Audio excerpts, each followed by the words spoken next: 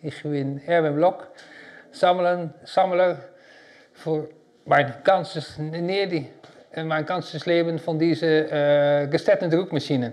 I am originally a collector of these machines for 40 years, doing it all my life, started at 10 years old.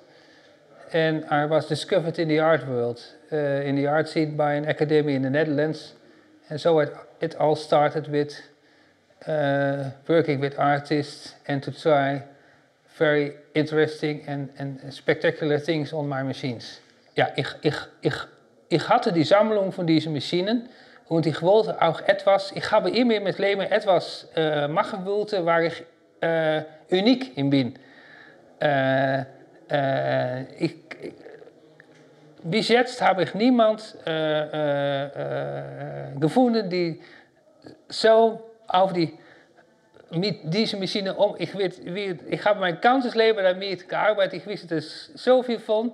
Für mich ist das, das, das, das, das, das ein, ein, ein, ein besonderes Produkt zu machen mit dieser Maschine, waar die eigentlich nicht vorgemacht sind.